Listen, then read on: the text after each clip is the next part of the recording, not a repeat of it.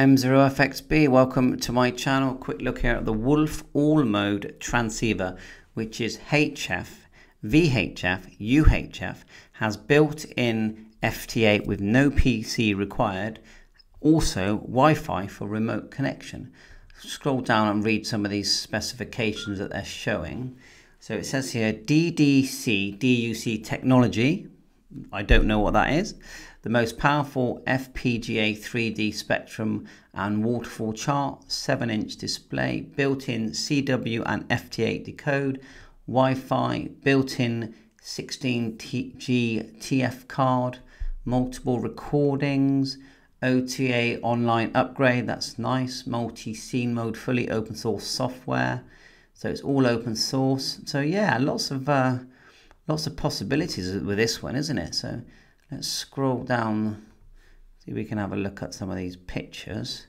You can see this the one I put in the background. So what's on the front here? We've got line in, phone, key, DFU, USB-C, microphone. Then you've got all these F1 probably programmable buttons, shift gain function, AF gain, VFO AB mode, and band. They could have done a nicer, bigger VFO. Would have been good.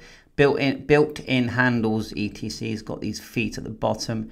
There's the scope, and you can see all the different bands there 160 right down to 6. Now, where's the VHF UHF?